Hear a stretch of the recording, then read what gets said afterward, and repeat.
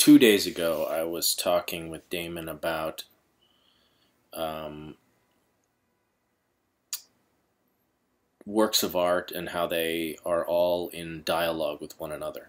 I don't believe in this idea that an artist has a full conscious intention of what he's doing and he does it just off of some master plan in his mind in this way. I mean, especially the way we've been working with improvisation and spontaneity and serendipity and all this sort of stuff.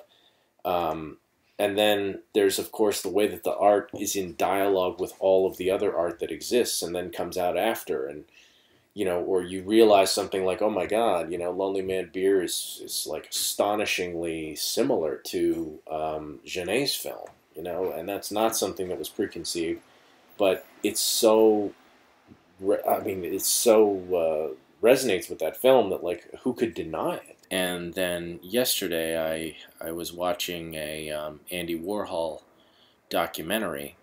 At one point, they say by 1960 he was painting existing magazine ads on canvas in a style that combined the graphic linear approach of commercial design and the drippy gestural marks of fine art painting of the time. And they showed this image of a royal typewriter. I'd used this royal typewriter in my uh, first film, Splendor, in 1997, 16 millimeter. I mean, it really hit me, you know, and I. It seems like the type of typewriter that someone like Warhol would like because of the name or the word royal and his uh, seeming obsessions with with royalty or the ruling class and trying to with them in some way or be accepted by them. Um, and so I, uh, you know, began to look around on the internet for uh, images of the Royal Typewriter paintings.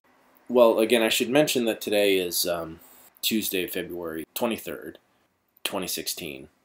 And yesterday was, of course, uh, February 22nd, 2016. And, uh, and Andy Warhol died on that day in 1987 at 58 years old.